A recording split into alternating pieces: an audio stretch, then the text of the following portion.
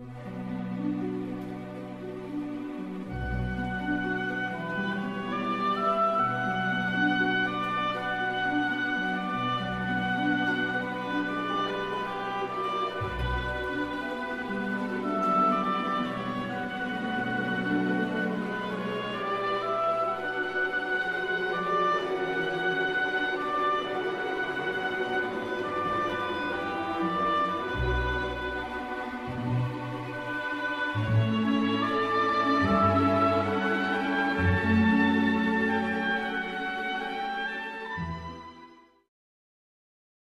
The Columbia Network takes pride in presenting Orson Welles in the first production of a unique new summer series by the Mercury Theater on the Air.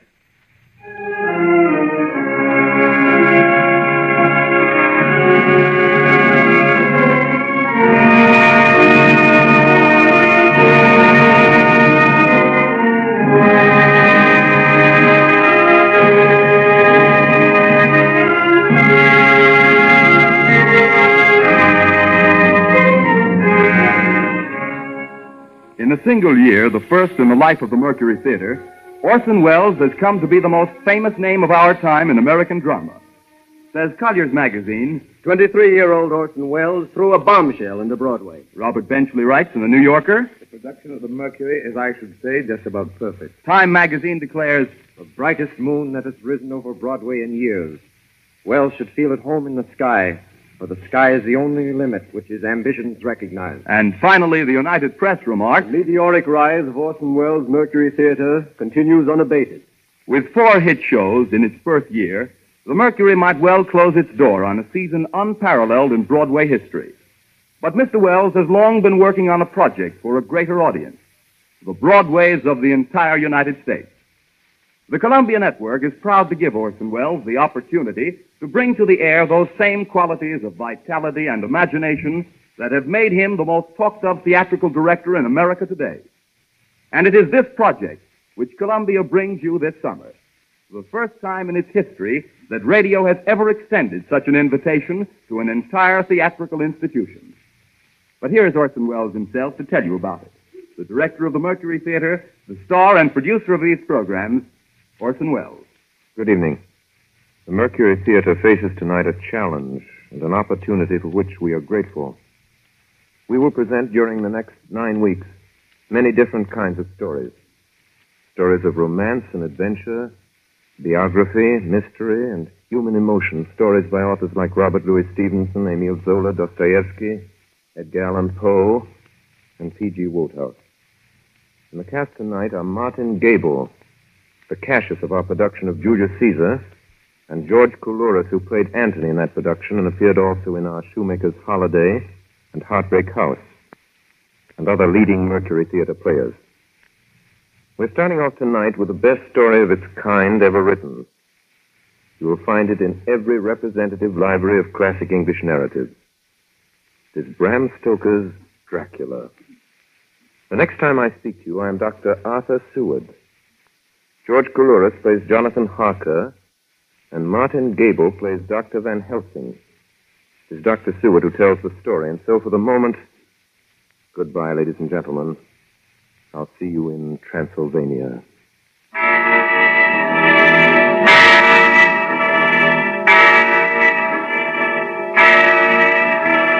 The Mercury Theater on the Air presents Orson Welles as Count Dracula in his own version of Bram Stoker's great novel, Dracula.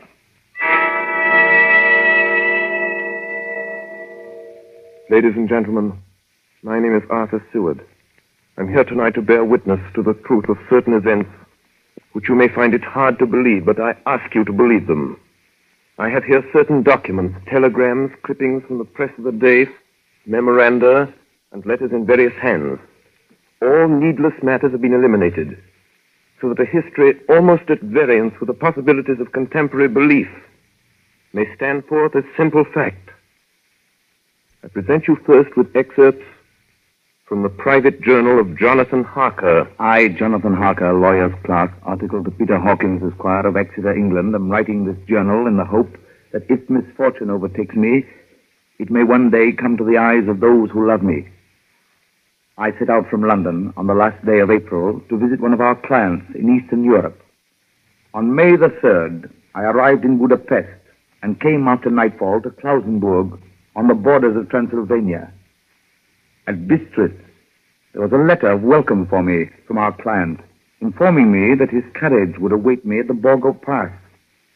It was signed Dracula.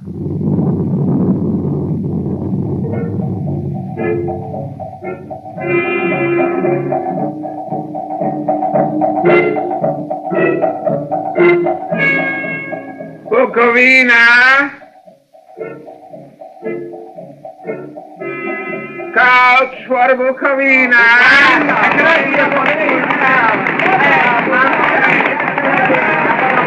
The road was rough, but still we seemed to fly over it with feverish haste.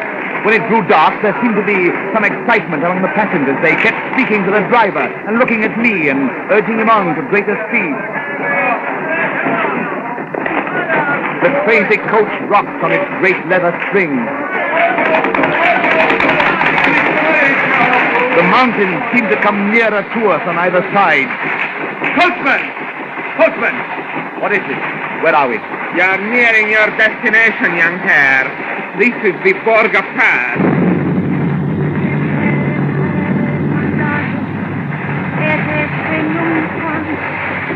There were black, rolling clouds overhead, and in the air the heavy, oppressive sense of thunder.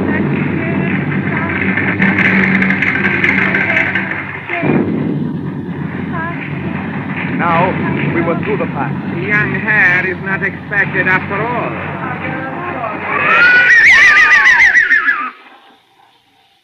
You are early tonight, my friend. A caleche with four horses had drawn up beside us. Let me help you, sir. The coachman smiled, and the lamplight fell on a hard-looking mouth with very red lips and sharp-looking teeth as white as ivory. We began to move. I looked back. The coach and its load of passengers had vanished from sight. We swept into the darkness of the pass. I struck a match. It was within a few minutes of midnight. And then a dog began to howl somewhere far down the road. The wind was rising. Moaned and whistled through the rocks, and the branches of the trees clashed together as we swept along. Grew colder and colder still, and fine powdery snow began to fall. The baying of wolves sounded nearer and nearer, as though, as though they were closing round us from every side. We kept on ascending, always ascending. The howling of wolves was growing less. Presently, it ceased altogether. And just then, the moon broke through the black clouds, and by its light I, I saw round us a ring of wolves running alongside the carriage, in silence, with white teeth and lolling red tongues, with long sinewy limbs and shaggy hair. Welcome to my house. I must have fallen asleep.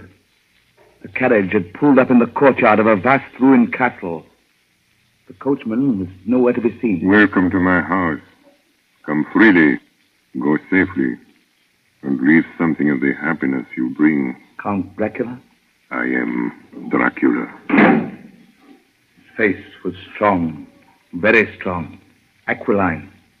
The mouth, so far as I could see under the heavy mustache, was fixed and rather cruel looking with peculiarly sharp white teeth. Hmm. You hear them, Mr. Harker. Uh, the wolf? The children of the night, as you say, Mr. Harker. The wolves.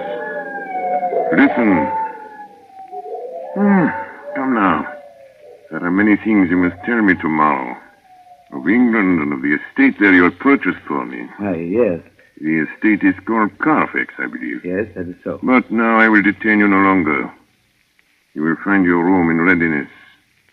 And I advise you not to leave it during the night.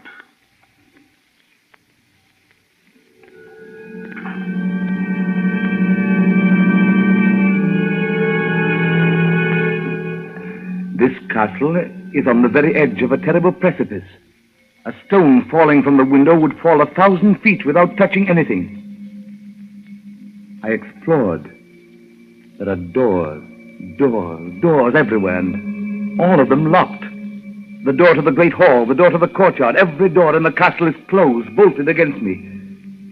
The castle of Dracula is a prison, and I am a prisoner.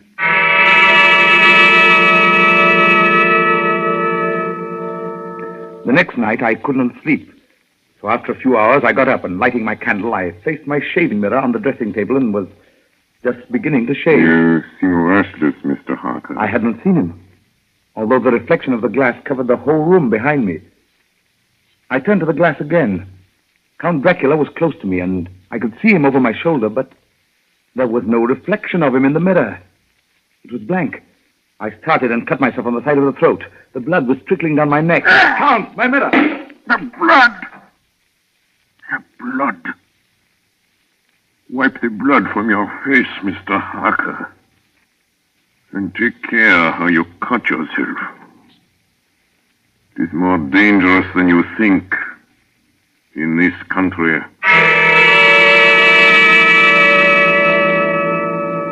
When I awoke, I found most of my things were gone. My passport, my notes, my letter of credit. I could find no trace of them anywhere. And my door is locked from the outside. June 20th. There is work of some kind going on in the castle. Now and then I hear the faraway muffled sound of mattock and spade. And last night, the second of the predated letters which Dracula made me write, the second of that series which is to blot out the very traces of my existence from the earth, went forth.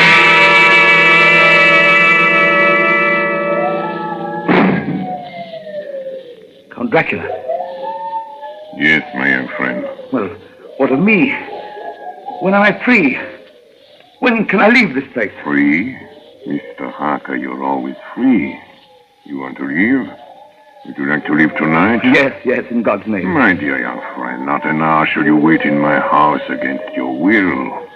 Come, follow me.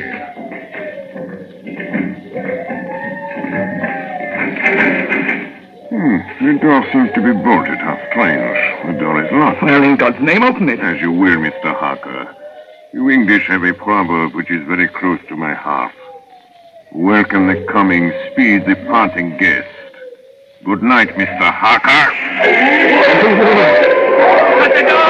Shut the door! I said you shut the door! Shut! The door is shut, Mr. Harker. I take it you will remain.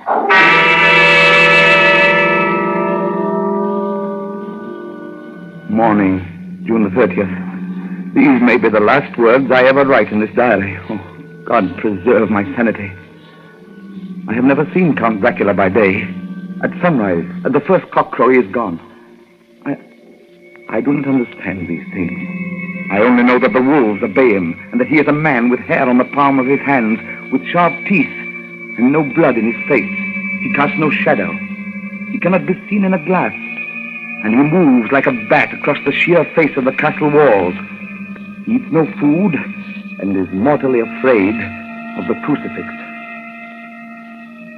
As I write this, I hear in the courtyard the rolling of heavy wheels and the cracking of whips. And there is in the passageway below a sound of heavy boxes being set down. Boxes shaped like coffins. And I know what they hold. Boxes are filled with holy earth from the chapel beneath the castle. It is the last box being nailed down. And now I hear the heavy feet tramping again. The door shut. The chains rattle.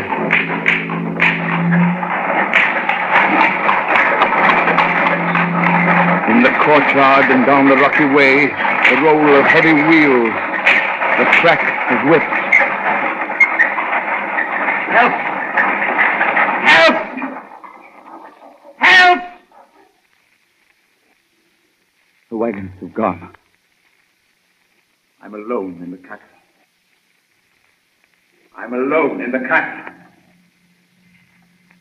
I'm alone in the castle.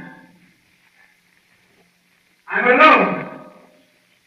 I'm alone. I'm alone. Ladies and gentlemen, this is Dr. Seward. Mr. Harker's journal terminates at this point. I now present in evidence a clipping dated August 8th of that year from the Yorkshire Telegraph from our correspondent in Whitby.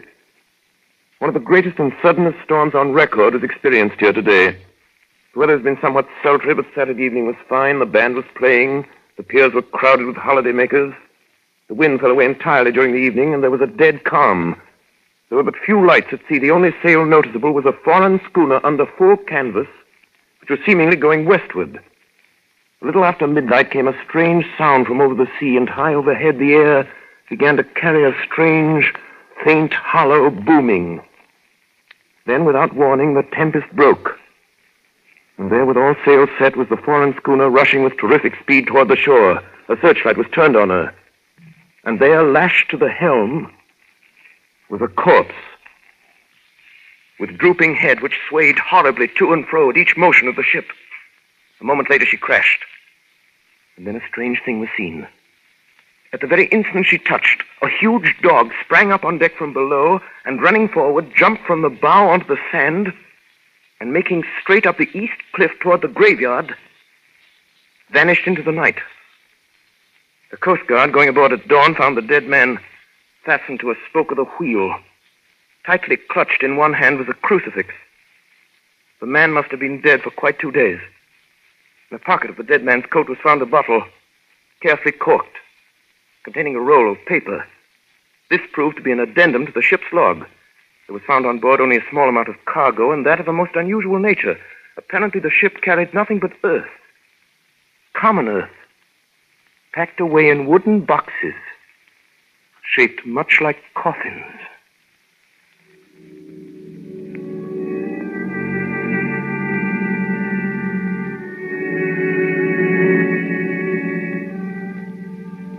Of the Demeter. Russian flag, Black Sea to Whitby. July 6th. Finished taking in cargo, a queer cargo, boxes of earth. At noon, set sail, east wind, fresh. Crew, four hands, two mates, cook, and myself, captain. July 11th. Entered Bosporus. At dark, passed through Dardanelles. Mate reported in morning that one of crew, Valyoden, was missing. Took larboard watch, eight bells last night. He was relieved by Chiligian, who came to his There's bunk. something aboard this oh. ship. No, no. Don't laugh, Captain. In the rain last night, Oh? a tall, thin man go up companionway and along the deck forward and disappeared. When I go to the bow, no one.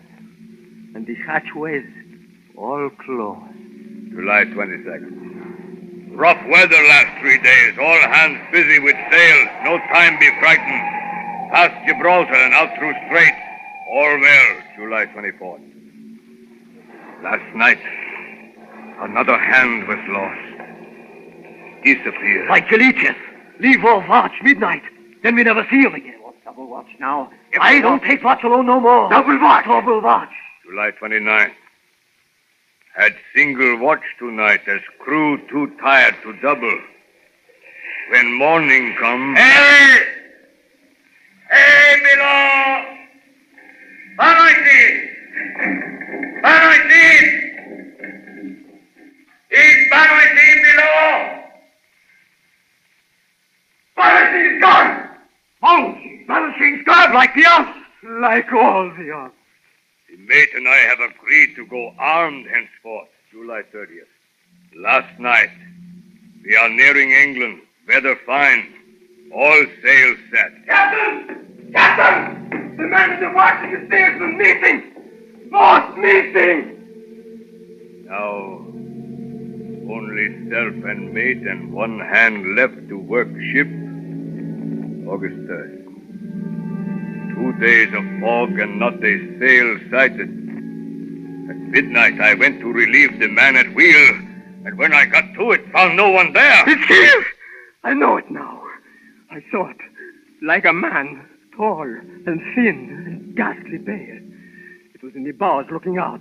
I gave it the knife and my knife went through it. What? Empty as air. What is it? What are you talking about? It's here, and I'll find it. It's in the hold, in one of those boxes of earth. I'll unscrew them one by one and see, and see. He is mad. stark raving mad. It's no use my trying to stop him. He can't hurt those big boxes. They are invoiced as common earth. Ah! Ah! He's there, down in the cold. I know the secret now. The sea will save me from him. That's all that's left. That's all that's left. August 4th. I am all alone on my ship, and still the fog.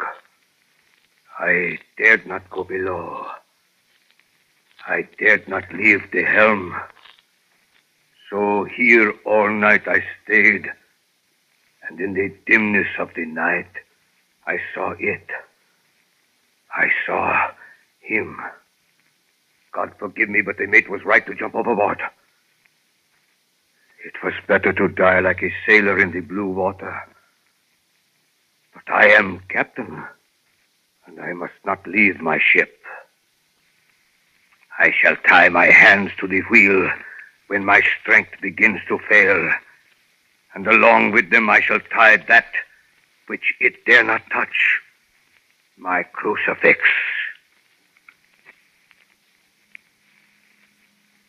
I am growing weaker, and the night is coming on. God and the Blessed Virgin help a poor ignorant soul trying to do his duty.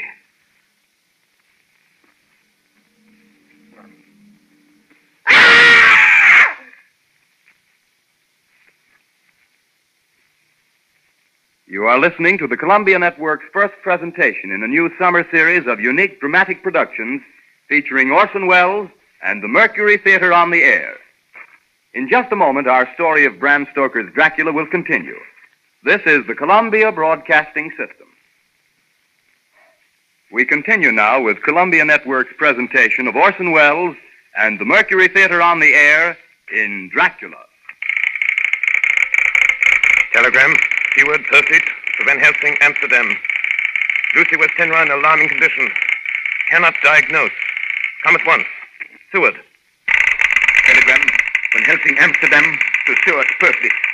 I'm on my way to you. Please arrange the examination immediately my arrival from Helsing. Ladies and gentlemen, I must now explain that six months before the events recorded here, I had become engaged to a young lady, Lucy Westenra. We were to have been married in the spring. My old teacher, Professor Van Helsing, arrived at four the next afternoon. I took him at once to Lucy's house. She lay in a bed asleep.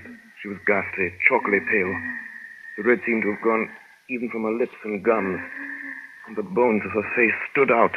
Young Miss is bad. Very bad. She must have blood or she will die. Yet she is not anemic. The qualitative analysis of her blood gives quite normal condition. It is strange. I do not like to think how strange. Look! My God, her throat, look! The black velvet band that she always wore had dragged up a little and showed a red mark on her throat. Just over the external jugular vein were two punctures, not large, but not wholesome looking. The edges were white and worn looking. Well? Well, what is it, Professor? What's wrong with her? Speak frankly. You can tell me the worst. I wish I could, Seward. I wish I could. But I do not dare. But won't you tell me any, anything? I will tell you this. Your young lady is in a danger greater than death. You must believe me. If you leave her for one moment and harm befalls, you will not sleep easy thereafter.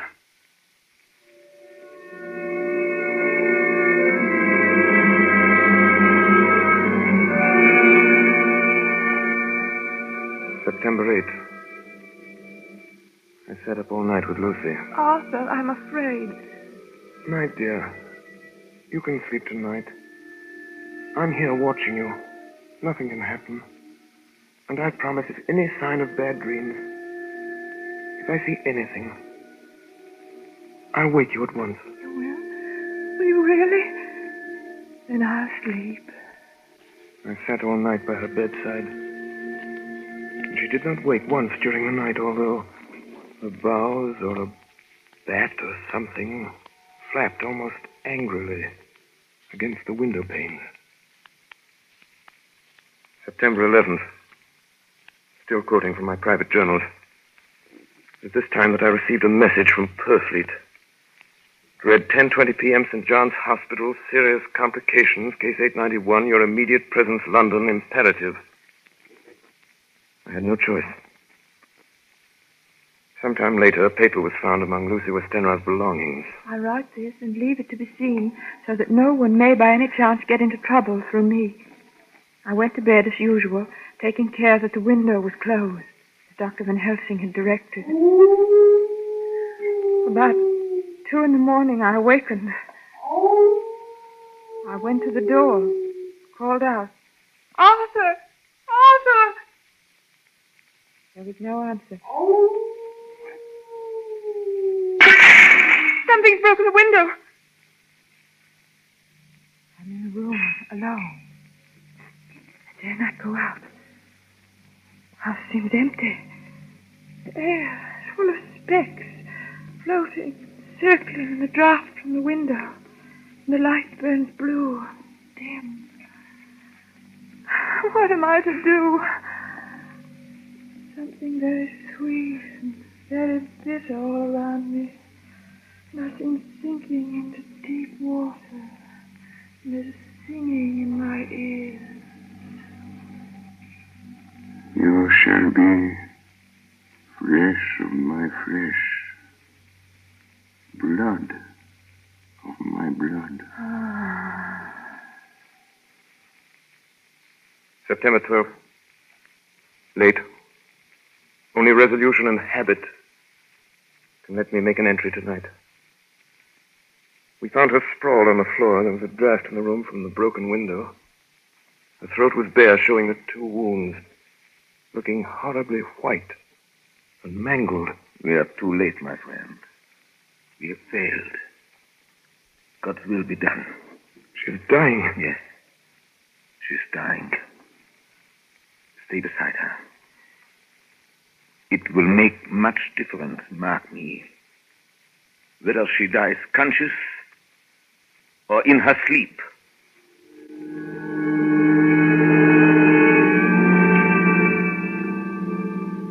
It was late in the afternoon before she opened her eyes. Arthur, oh, my love, I'm so glad you've come. I took her hand and knelt beside her. Her breath came and went like a tired, peaceful child. And then the light from the setting sun fell on her face, and then, insensibly, a strange change came over her. Her eyes grew suddenly dull and hard. Her breathing was heavy. The mouth opened, and the pale gums drawn back made the teeth look large and sharp. Arthur, oh, my love, I'm so glad you've come. Kiss me.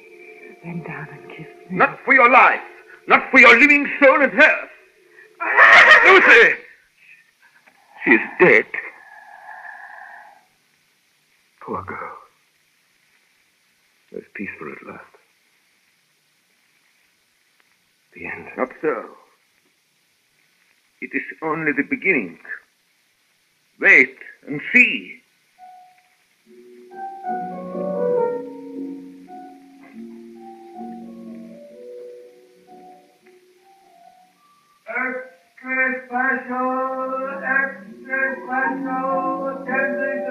The Westminster Gazette, September 25th. A Hampstead mystery. The Kensington horror, the stabbing woman, and the woman in black are vividly recalled to mind by a series of events that have taken place recently in the neighborhood of Hampstead. Several cases have occurred of young children straying from home or failing to return from their playing on the heath. In all these cases, the children have given as their excuse that they have been with a beautiful lady who offered them chocolate. In each case, the child was found to be slightly torn or wounded in the throat. The wound seemed such as might be made by a rat or a small dog.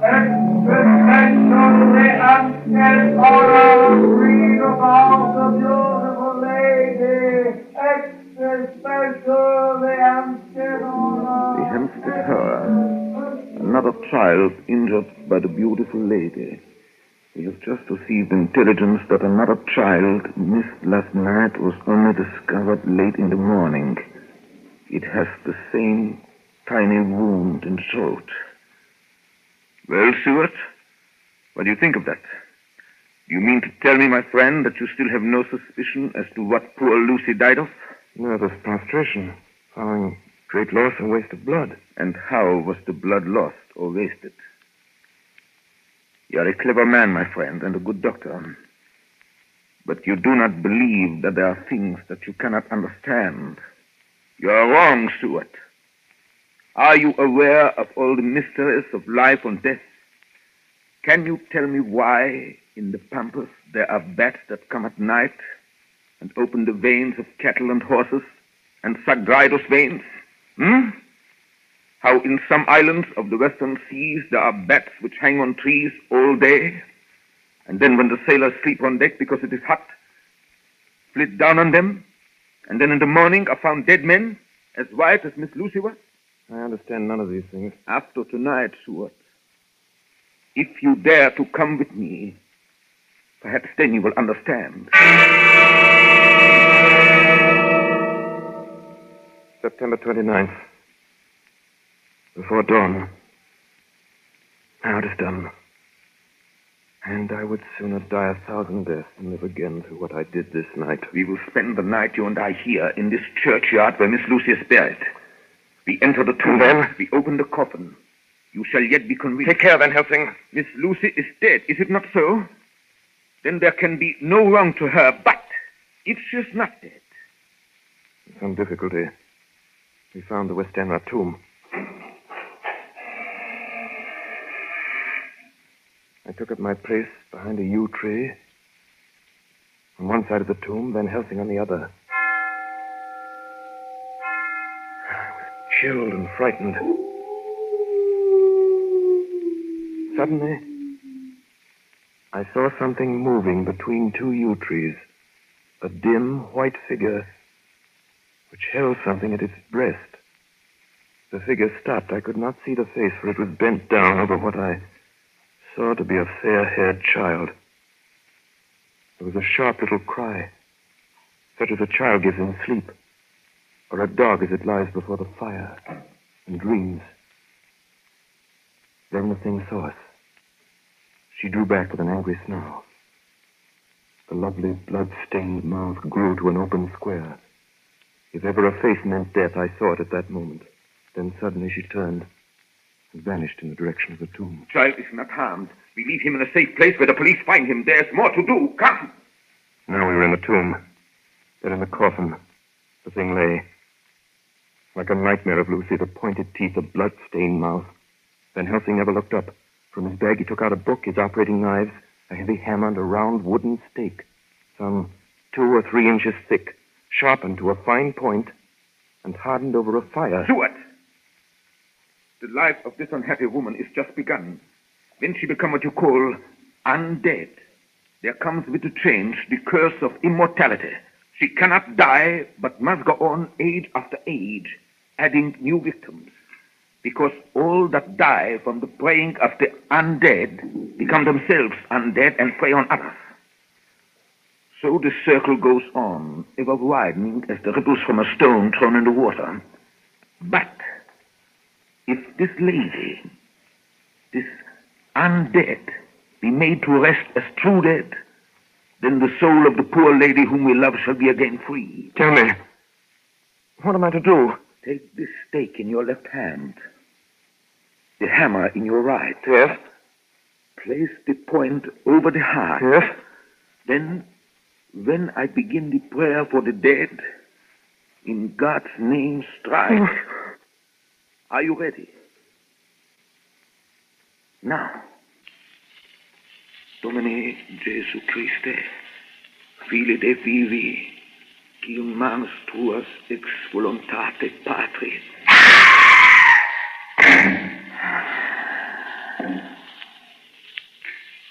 On the morning of July 11th, a man was found on the border of Transylvania. He talked wildly of wolves, and boxes of earth and blood. He gave his name as Jonathan Harker. In the hospital at Klausenberg, he improved sufficiently to make possible his removal to England. I'm still quoting from my own personal papers. But there his condition remained so serious that he was committed for observation to a private ward in my hospital at Purfleet. Here he did so well that in three weeks he was completely recovered. It was during this time that his wife, Mina Harker, brought to the attention of Dr. Van Helsing and myself the journal that her husband had kept while a prisoner in the castle of a certain Count Dracula in Transylvania. I have before me the record of a meeting that took place in my study in Purfleet, transcribed by Mina Harker. October 1st. Meeting began soon after 8. Jonathan next to me. Dr. Seward opposite to Van Helsing at the head of the table. My friends, there are such things as vampires. Had I known at first what now I know, one so precious life had been spared to many of us who love her. The vampire which is amongst us is of himself so strong that he can direct all the elements. The storm, the fog, the thunder. He can command all the meaner things, the moth and bat, the owl and the fox and the wolf. How then are we to begin our strike to destroy him? How shall we find his place? And having found it, how can we destroy? My friends, it is a terrible task that we undertake.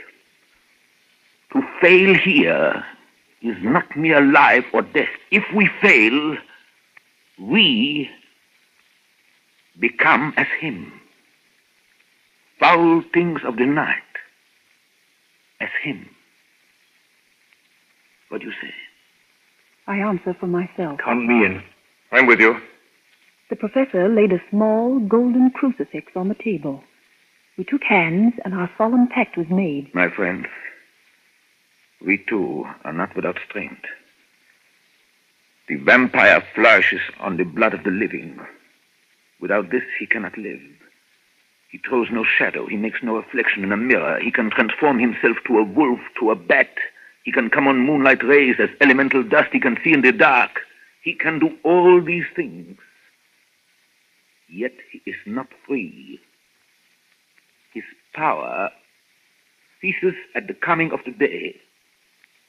Then, until night, he must remain in the shape in which he finds himself, and except in his coffin home, in those earth boxes he cannot rest. When we can confine him in his coffin, then, my friends, if we obey what we know, we will destroy him. At that moment, something flapped wildly against the window. Then Did you hit it? I don't know. we looked out of the window. Against the black sky, we could see nothing. Data in our possession. From the Count's castle in Transylvania to Whitby came 50 boxes of earth. All of these, to our certain knowledge, were delivered at Carfax. Recently, 12 of these boxes have been removed.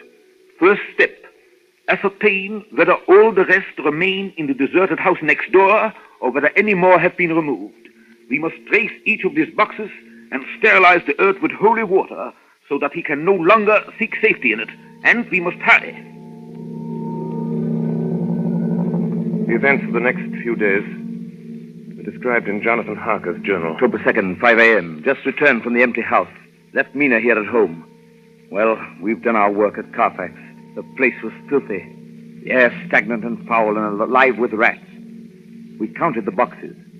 Only 38 of them. And over each one, the professor went through his same mysterious work. It was dawn when we got back. I found Mina asleep. She looks paler than usual. October 2nd. Soon after they left, I fell asleep. I remember hearing the sudden barking of the dogs, and then there was silence. I got up and looked out of the window.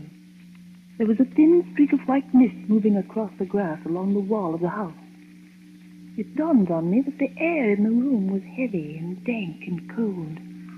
The gaslight came only like a tiny red spark through the fog. I could see through my eyelids. The mist grew thicker and thicker. Then, as I looked, the spark divided and seemed to shine on me through the fog like two red eyes. You shall be flesh of my flesh, blood of my blood, blood of my blood.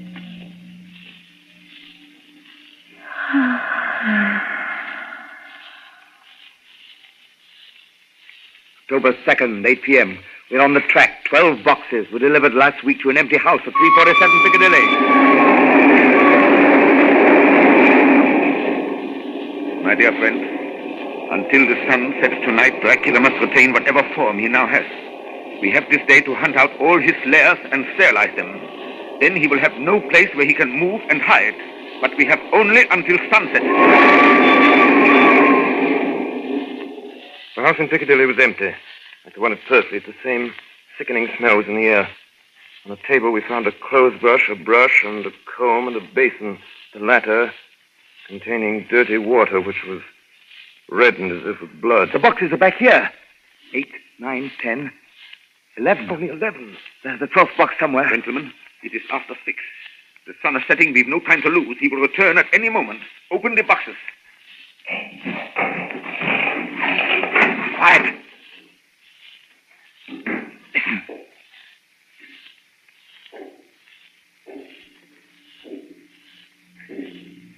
Be ready.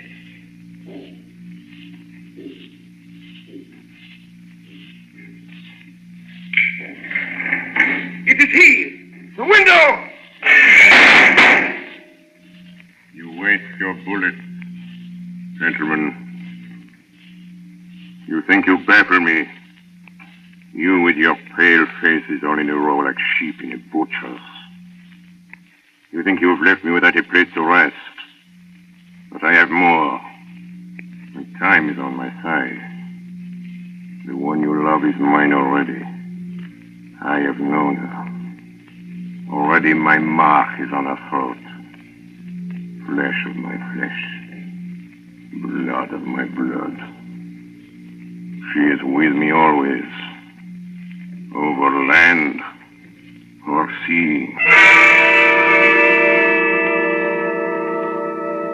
October 4th morning. Another meeting in the study of Turkey. We must find that last remaining box, gentlemen. We must find it. As long as that earth exists impure, as long as there remains one place of refuge for Dracula, there is no safety and no peace for any soul in England. And for the undead, never peace so long as he lives. Blood of my blood. Blood of my blood. Mina, how do you know that? Quiet. quiet, quiet. With me. With me always. Over land and sea. Mina, darling, how did you know that Dracula said those... I don't know. The words just came. Strange. There are times when somehow I feel that I'm with him. At sunset? Yes. Just at sunset. And again at sunrise. Dr. Van Helsing, if I could, if at that time you, Have you the courage? Courage for what? What do you mean? Dr. Van Helsing here, will question her. I will question her, yes. In a state of hypnosis. The one you love is already mine, he said. She is with me always, over land or sea. Ah, Count Dracula. Perhaps she will betray you if she is really with you, this one we love. Who knows? If she is really with you over land or sea, Blood of my blood. Mina. Yes, Answer me, Mina. Are you with him? yes, I am with him. Where are you? I do not know. It is all dark. What do you hear? The lapping of water. I can hear it on the outside. Then you are on a ship. Yes, What else do you hear? there is the creaking of an anchor What are you doing? still. Oh, so still. It is like death. It's like death. Here is a report from Matson Peabody, shipbrokers. Dated October 5th, according to Lloyd's list, the only sailing ship that left for the Black Sea yesterday was the Tsarina Katrina, bound for Varna. Some hours before she sailed, a man came alongside, all in black, driving a cart with a great box in it. This he lifted down single-handed and carried below. No one remembers having seen him after that, as heavy mist came up over Doolittle Dock until sailing time. The rest of London Harbor remained completely clear. Our plans are made. The average sailing time from London to the Black Sea is three weeks. We can travel overland to the same place in three days. We shall be there waiting for him when he arrives. October 15th, arrive Varna about 5 o'clock. Mina seems stronger. Every morning before sunrise and just before sunset, she speaks to Van Helsing in a trance. Are you with him, Mina? Tell me, are you with him? I am with him. What can you see? Nothing. All is dark. What can you hear? I can hear the waves lapping against the ship and the water rushing by. The wind is high. I can hear it in the shrouds and the bow throws back the foam. So, the Tsarina Katrina is still at sea, hastening on her way to Varna. The Count cannot cross warning water, so we cannot leave the ship without being observed. What do you hear, Mina? Lapping waves and rushing water. Darkness. Darkness and wind. A whole week of waiting. Daily telegrams from Lloyd. Not yet reported. Not yet reported. Not yet reported. Not yet reported. Not yet reported. Rushing water and creaking mud. Darkness. Darkness and wind. October 24th. Telegram. Lloyd, London to Harker. Tsarina Katrina reported this morning from Dardanelles. Lloyd, London to Harker, October 28th. Tsarina Katrina in heavy fog reported entering Galatz Harbor at 1 o'clock today. Galatz! Galatz is 38 hours from here, and the first train for Galatz leaves at 6.30 tomorrow morning. My friends, we have lost.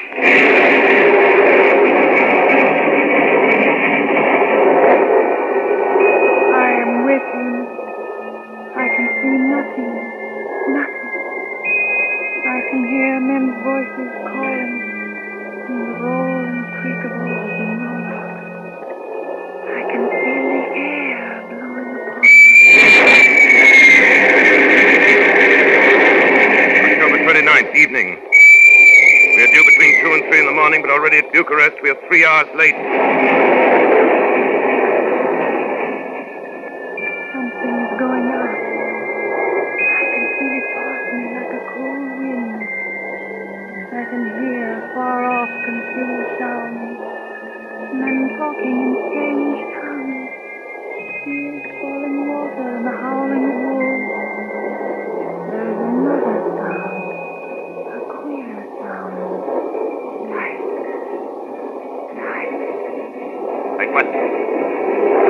Speak, Mina.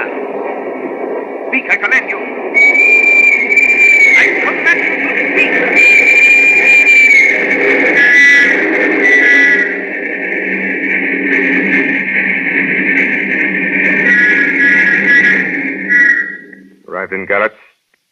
Saw Captain Katrina. A man come aboard with an order an hour before sunup to receive a box for a party by the name of Dracula. That is Pepper's a rate. Uh, Emmanuel Hildesheim, his name was. Mr. Hildesheim? Yes. You unloaded the box yesterday. I gave it to Kyloff by order. Kyloff. Mr. Kyloff? Kyloff. This morning they find him dead inside the churchyard of St. Peter. They find him dead with his throat torn open. October 30th, evening. There are two ways in which Dracula can get back to his own place.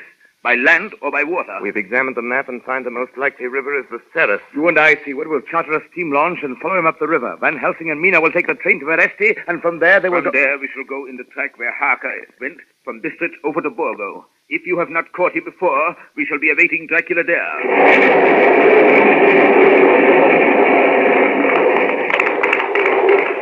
October 31st. We arrived at Veresti at noon, Van Helsing and I. Bought a carriage here, and we start in an hour. Our enemy is still on the river. October 31st. We can run a good speed up the river at night. There's plenty of water and the banks are wide apart. November 1st, evening. No news all day. We hear that a big boat went up the river before us, going at more than usual speed.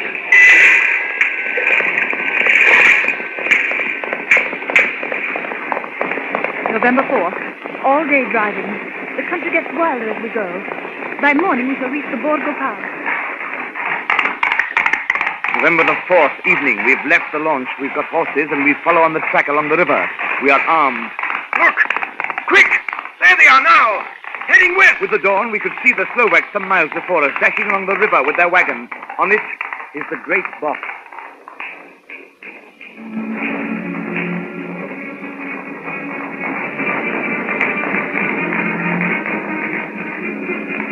Late in the afternoon, we reached the Borgo Pass. Van Helsing! Look! Look! We could see a long way all around us. Far off, beyond the white waste of snow, was the river like a black ribbon curling. Between us and the river, not afar off, came a group of men, mounted Slovaks hurrying along. In the midst of them was a wagon which swept from side to side. On the wagon was a great box. Look! We see two horses following fast, coming up from the south. Seward and Harker. The Slovaks with their heavy wagon are losing their ground. Now the horsemen are not more than a mile behind. Now the wagon is quite close to us. We can see the great box swaying gracefully. Now they are almost upon us.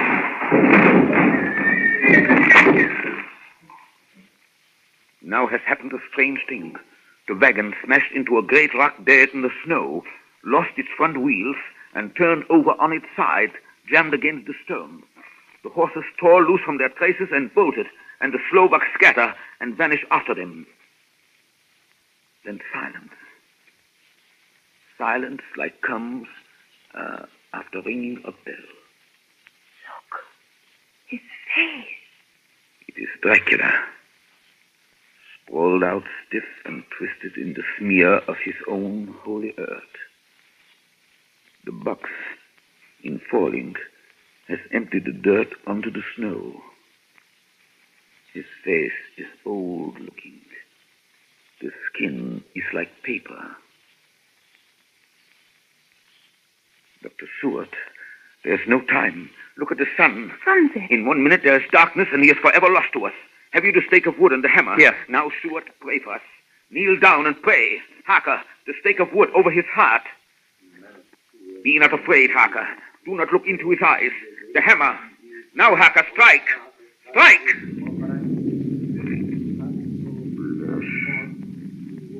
Flesh of my flesh. Guilt of my guilt. Death of my death.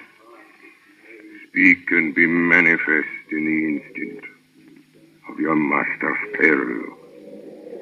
Elements of darkness. Rain. Evil wind. Mist. And mold. And tempest. Strike! The others couldn't. But somehow I can hear him. Speaking. Behind his eyes. Claw, wing, tooth, scale, tissue of flesh, death of my death, dead and undead. The hand of the living is over your master. Console him, my children.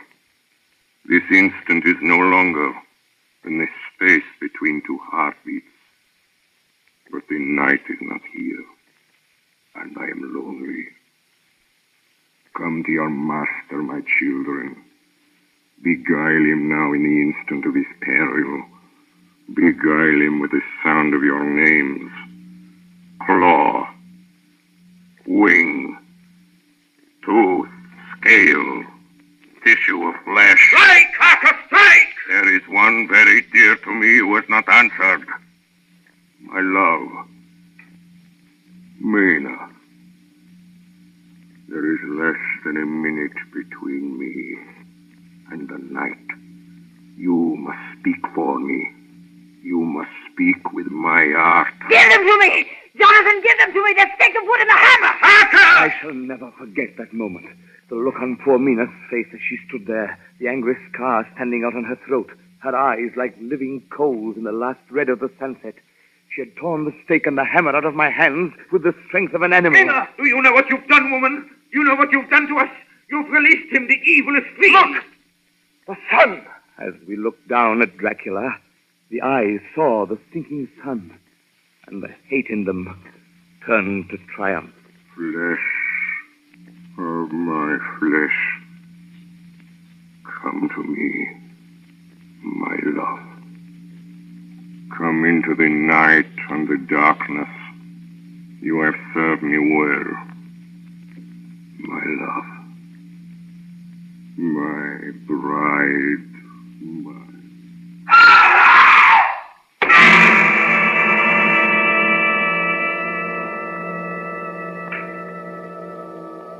Ladies and gentlemen, all the evidence in this case is now before you. I've added nothing. And to the best of my knowledge, I've omitted nothing that might help to throw light on the extraordinary events of the year 1891, which culminated on that terrible evening in the Borgo Pass. There remains only this one last report. When Mina Harker seized the stake and hammer from her husband, I believe she was under some form of hypnosis. She herself remembers nothing. But whatever influence was at work on her, she must, at the last moment, have rejected it. For at the exact instant the sun disappeared, it was Mina Harker who drove the stake through the heart of the thing that called itself Dracula. At that same instant, even as we looked, the wound on the side of her throat was no more. As for Dracula, before the scream of the creature had died from our ears, the whole body crumbled into dust and passed from our sight. In that final moment of dissolution, there was in the face a look of peace, such as I never could have imagined might have rested there.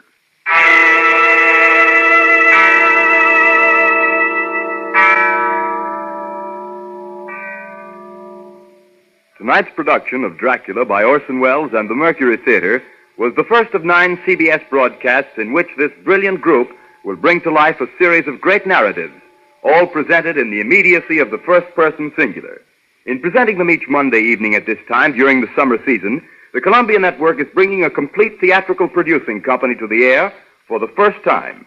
In the cast tonight, Dr. Van Helsing was played by Martin Gabel, Jonathan Harker by George Coulouris, Dr. Seward by Orson Welles, The Russian Captain by Ray Collins, The Mate by Karl Swenson, Mina Harker by Agnes Moorehead, Lucy Westenra by Elizabeth Farrell, and Count Dracula by Orson Welles. Bernard Herrmann composed the original music and conducted. Dan Seymour speaking. Davidson Taylor supervised the production for the Columbia Network. And now here is the director to tell you about next week's Mercury Theater production, Mr. Orson Welles. Ladies and gentlemen, what are your favorite stories? If there is one you're particularly fond of and would like to hear on the air, will you please write me about it? Next week, the Mercury Theater is going to tell you Robert Louis Stevenson's exciting yarn about pirates and the sea, Treasure Island. Until then, just in case Count Dracula has left you a little apprehensive, one word of comfort. When you go to bed tonight, don't worry. Put out the lights and go to sleep. It's all right. You can rest peacefully. That's just a sound effect. There. Over there in the shadow, see? It's nothing. Nothing at all. Nothing at all. I think it's nothing. But always remember, ladies and gentlemen, there are werewolves. There are vampires. Such things do exist.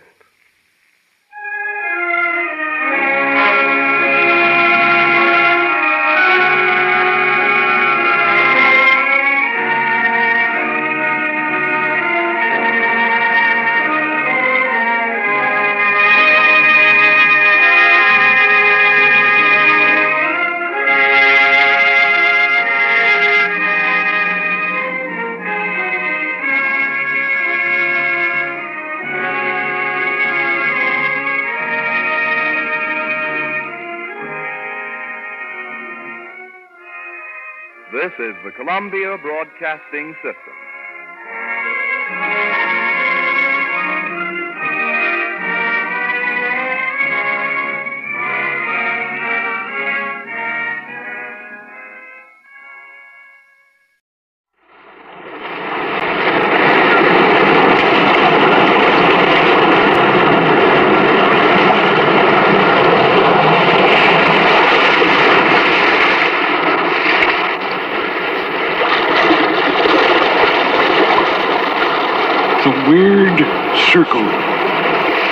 This cave by the restless sea, we are met to call from out of the past stories, strange and weird. Bellkeeper, toll the bell, so that all may know we are gathered again in the weird circle.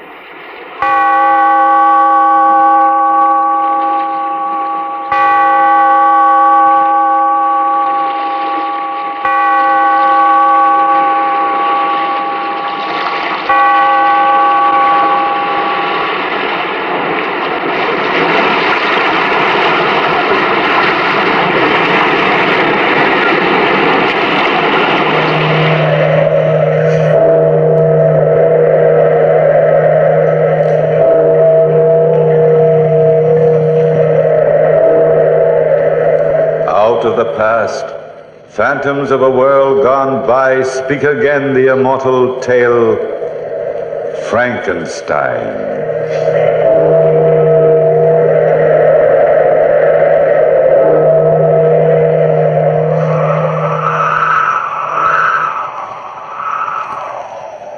The wind howling outside my lonely home is my only companion. All else is quiet here as I sit by my window in the parlor writing this document for the scientific world. Be warned, you doctors and scientists who come after me. Be warned that man must not experiment with the secrets of life. My experiences started in the University of Manchester, where I was studying natural history. It was after class, May 22nd, 1818, that Professor Waldman, my close dear friend Henry Clerval, and myself were in the laboratory of the university. Victor Frankenstein, your persistence amazes me. Someday I shall sit at your feet and allow you to teach me. Thank you, Professor Waldman. But the whole subject of the structure of man has always been too clouded in mysticism. Well, frankly, Victor, I prefer mysticism. Well, that's because you're a mystic, Henry. Why, Henry's no more a mystic than I am. He just loves to avoid arduous work. Oh, translating that means I'm lazy, eh, Professor? Well, if you prefer to put it that way, I rather think of you as a student whose nervous structure does not take kindly to natural history. the professor's kinder to you than you are to yourself, Henry. Well, if I worked as hard as you do, Victor, I should probably wear that same gaunt, sleepless look that you carry about. Well, my experiment will be finished tonight. And then I'll manage the eight hours sleep that other men manage. The secret experiment will be finished tonight, huh? Oh, then will you tell us just exactly what you're doing in the basement at home? I'll tell the entire world. As a matter of fact, I, I stayed after class this afternoon, Professor Waldman, to ask you to join me this evening in the basement of our place to watch the completion of my work. Oh, well, how about me? I don't think I dare invite more than one, Henry. And the professor is more interested in this type of procedure than, than you are. I shall be delighted, Victor. Just the best friend who never knows what's going on in his own home, that's all. It's not that, Henry. But I thought you'd entertain Elizabeth for me, while the professor and I were at work. Entertaining Elizabeth will be a delightful favor, old boy. You know, I think you trust me too much with her. Have you ever met Victor's fiancée, Professor Waldman? She's one of the most charming. Yes, Elizabeth was one of the most charming, beautiful women I'd ever known. I had been in love with her from childhood, but even my love for Elizabeth couldn't dim my passionate zeal for the work I was doing. It was eight o'clock that evening. Henry, Elizabeth, and I were seated in the parlor.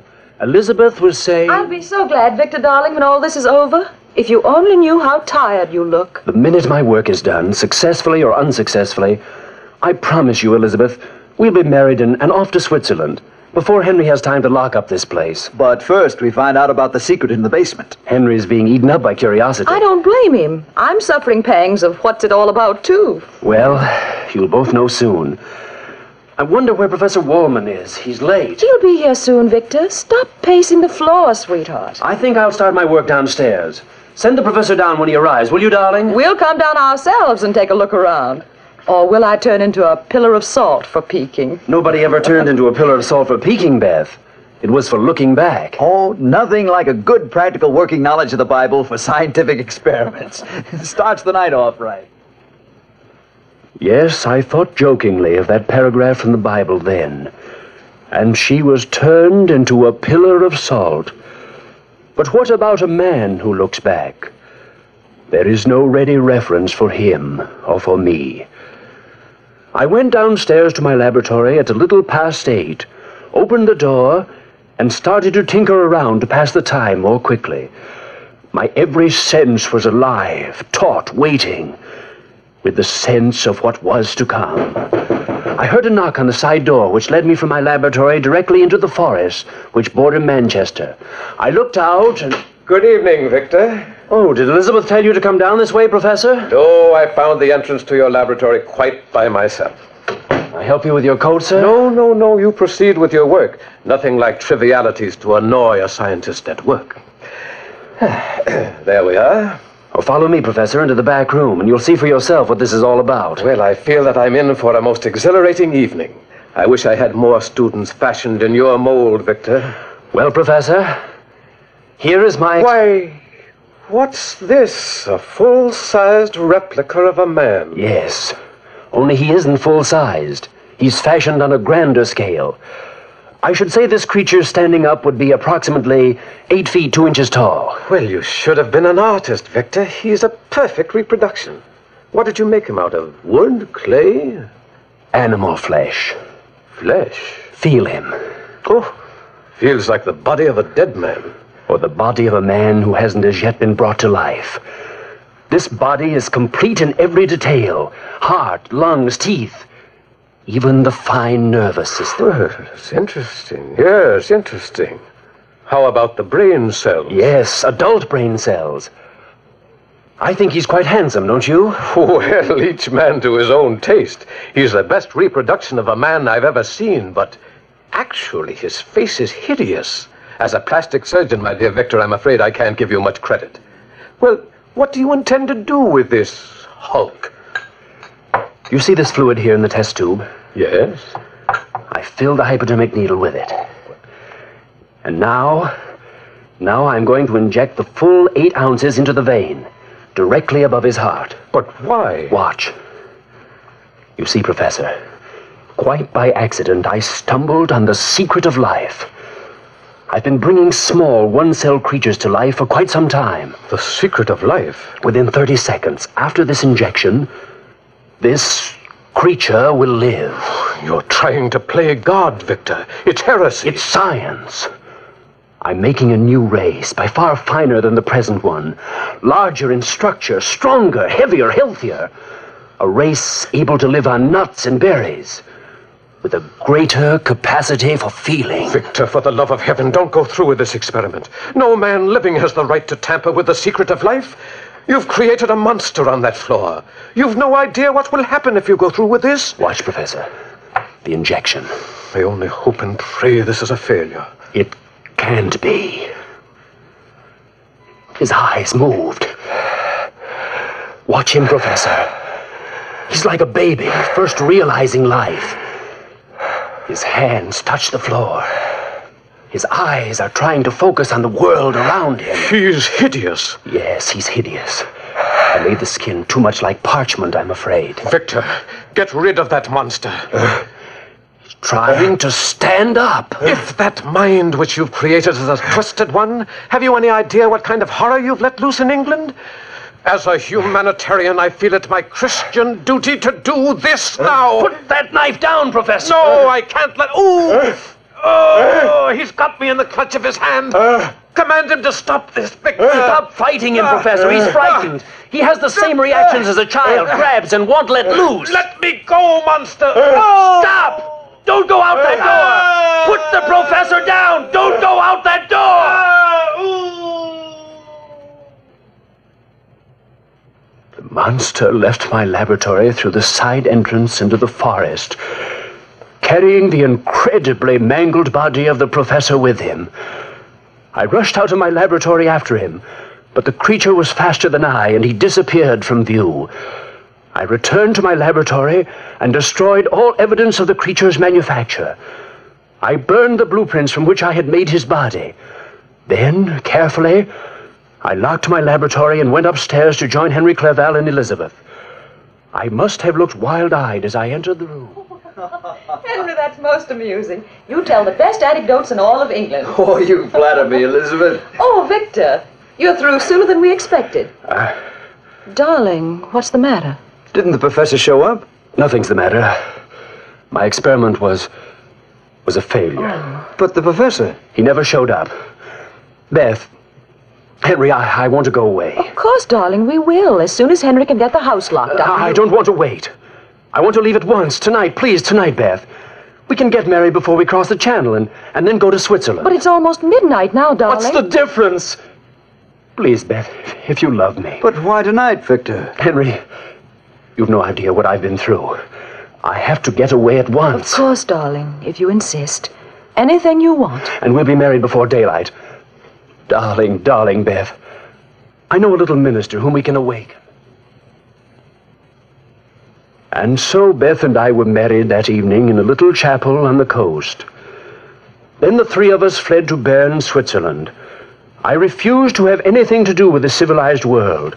No newspapers, no word of home. Just the peace and quiet of the Swiss mountains. Henry and Elizabeth both tried to learn of the events which had occurred in my laboratory that evening, but I never broke my silence on that subject. After the first tries, they refrained from asking me about it again. It was in the middle of the fourth month of our visit when Henry and I were sitting on the terrace of the little house in the mountain. Beth was out picking berries when Henry suddenly. Victor, I'm your closest friend. I've tried to keep silent about. Well, Victor, the day after we left England, I bought a newspaper. Did you, Henry? Yes, I saw this clipping on the front page. I couldn't very well miss it. What clipping? This one. The horribly mangled remains of Professor Waldman was found on Beekman Hill. The identity of the unknown murderer is being sought by Scotland Yard. Poor Professor Waldman. I, I'd no idea. Hadn't you? No. What are you trying to say to me, Henry? You're leaving England so suddenly that very night. Your fear of being discovered, the secret experiment. Well, it, it all seemed to add up to some some kind of strange connection with this clipping. Now, if you're in trouble, Victor, you can depend on me. I'll stay by your side. I'm not in trouble. I'm just tired, terribly tired. And you know nothing of the professor? Absolutely nothing. He didn't come to our chateau that evening. I told you he didn't then. Stop questioning me. Victor! Victor! We're out here, Beth. Oh, I've just had a horrible experience. Oh, darling, I'm, I'm so glad to see you. I, Pale, Beth. Sit down right here next to me. Well, what happened, Beth? well, I was I was walking in the woods not far from here when I looked up and saw well, I saw a man. Sort of a man standing over me. Well, men aren't so bad. That is, if you happen to know the right ones. And you do. I I'm not joshing, Henry. He wasn't exactly a man. He he was twice the height of anyone I've ever seen. And his skin looked like dried parchment. It's it's incredible, but I think I've seen a monster. Monster? Yes, I I ran away. He didn't follow me. He just just stared after me, watching me. You do believe me, don't you? A monster stared after oh, look, Look, Henry. Victor, through the trees right out there. Look! There he is again!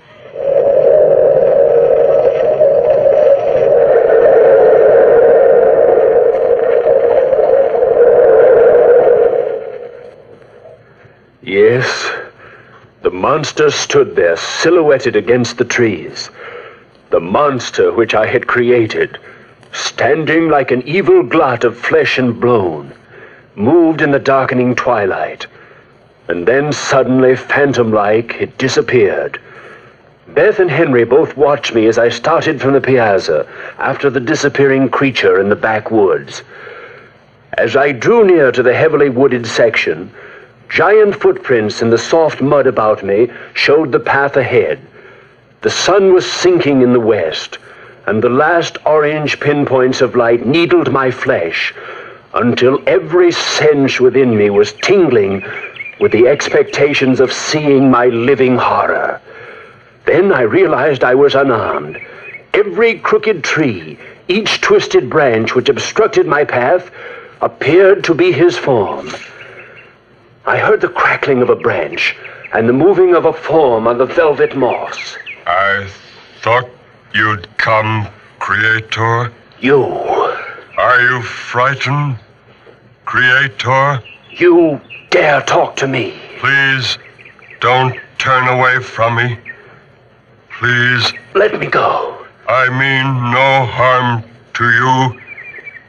Listen to me, Victor Frankenstein. You must listen to me. You created me. You owe me that much. I owe you nothing, murderer. Why am I a murderer? Because you created a form so horrible, a face so distorted, that no man can look upon me and call me friend. I'm an outcast. You can save me. Let me go. Not until you hear my story. Sit down, Creator. My arm! Let me go! I wandered through the streets of London that first day. Children screamed in the streets. People flocked together trying to kill me. And I was lonely and hungry. How did you follow me here? Not so long ago, I returned to my birthplace, the laboratory, broke in, and discovered your identity. But first, I fled to Scotland and lived outside of a cottage. That's how I learned to speak. An old blind man was teaching a young French girl to speak English. I listened to the lessons from the open windows. Now, what do you expect of me? A companion. A woman of the same species, with my defects. One who will be my friend. This, this being you must create. No, I'll not do it. You must. Every man's entitled to a wife. No. You must. If you create her for me, I'll take her with me into the far wastes, and no one will ever see either of us again. Ever. How will you live? On fruits and berries. We'll manage together. Please, you can't deny me this. A maid. A monster's maid. You will? You will? I swear, I'll never harm another human. Never create her. If you'll only grant me just one companion. And if I refuse? If you refuse, even a brain that you have made, Creator, might become twisted and distorted. And so that night in the forest, I made a devil's bargain. I bargained to create a monster's mate, perhaps another murderer. How could I know? The monster swore to live in the forest and wait, wait a year or two years if necessary, and upon completion of my work, he would take his companion away. But if I broke my promise, he swore revenge. And so I started work. I searched Paris for the necessary equipment, built a shack in the woods about a mile away from our chalet. Three months I worked, three solid months, shaping her who was to be his mate. And then one night, it was windy outside. I thought the wind had blown the door open when. Victor! Victor, I'm sorry I had to disturb you. Is it Beth? No, not Beth. She's fine and sends her love. It's the townspeople. Your activities have stirred up a lot of curiosity. Oh, the fools! Well, I can't blame them, especially after the rumors which have been going around. Rumors of the. Victor, you know the monster in these forests. You've known of him all along. People have seen him and connect him with you. Mothers in the village are frightened of their children. I know nothing. Look, I'm only trying to help you. I know nothing, I tell you. But the men have banded together. They're going to make a raid on you here, to burn your laboratory down, and to find the monster who lives in these woods. They can't, they mustn't. Oh, what devil's work are you carrying on, man? I'm trying to help you. Oh, Victor, will you please let your friends be your friends? Henry, go back to Beth and leave me alone. Beth is safe at home. You're in danger, and I won't leave your side this night, my friend. Then be prepared. Prepared for what? You've guessed many of the reasons for my secrecy. Then there is a monster. At school, I stumbled on the secret of life. I was trying to create a superior race. I was a fool and I created him instead. And he does live? Yes, he lives. Professor Waldman. What happened to Professor Waldman? The night I created the monster, Waldman became frightened. He screamed, attempted to kill the creature. The creature, like a child, warded him off and, and then tore him to pieces in front of me. I couldn't stop him. The monster had killed before it had really begun to live. Then what? The monster left the basement through the side entrance carrying the professor's corpse. I had no choice. I had to leave the country. Oh, what are you doing with that creature now? Fulfilling a promise. Follow me into my cabin and I'll show you. How soon do you think the townsfolk will be here? Oh, within two hours or so. They're meeting in the square in town. Come in. What? A woman? Yes, a woman.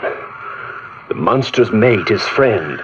I promised him a friend, and in return he swears to hide himself forever from the world. A, a devil's bargain, Victor. A bargain I must keep for all our sakes. But the monster proved himself a murderer time and time again. Why, in London after the death of Professor Waldman. Time and time again. But how do you know that the mate won't be even more vicious than he? You'll let loose an avalanche of hatred. Oh, destroy her before you bring her to life. Yes, avalanche of hatred. Look, you've no time to waste. Set fire to this cabin quickly, Victor. Set fire to the cabin and come away. Why, man alive, you can't go through with this thing. But the promise. It's a promise to a fiend. He'll be your death and ours, Victor. Oh, hurry, man, hurry if you've any love for Beth. I've been insane with grief and fear for Beth and you. Go back to Beth, Henry, at, at once and wait for me. And you? I, I'll set fire to the cabin as soon as I destroy my books. I, I'll join you later. Well, hurry, friend. We'll meet you home as soon as you can make it. For one full hour, I worked feverishly. I soaked the shack in oil, and then taking a taper from the vase, I, I lit the fire. The fire started quickly. I placed my books in the very center of the room, and then opened the door of my shack. The experiment was at an end, and I felt free. The monster's mate would never live. I walked out, and then I saw him, his face contorted with rage. Ah! My wife!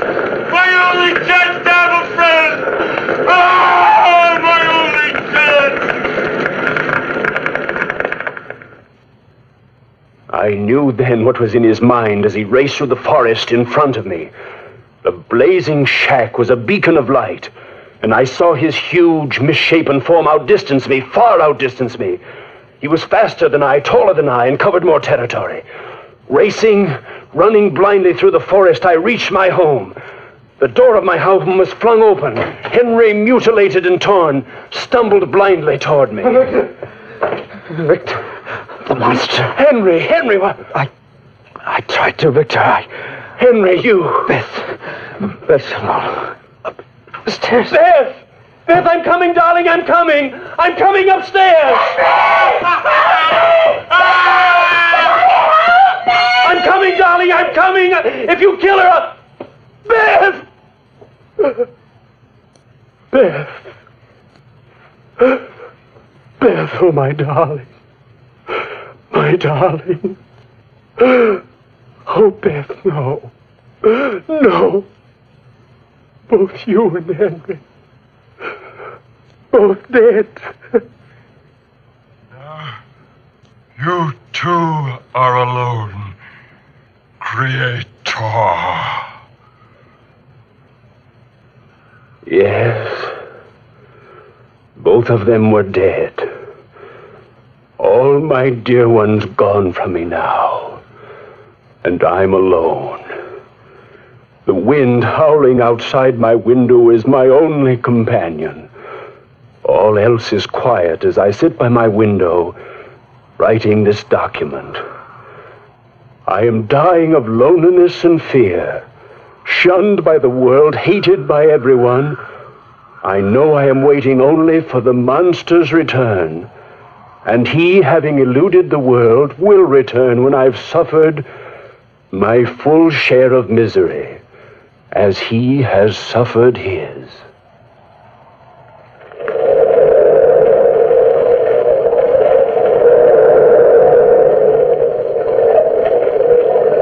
From the time-worn pages of the past, we have brought you the story Frankenstein.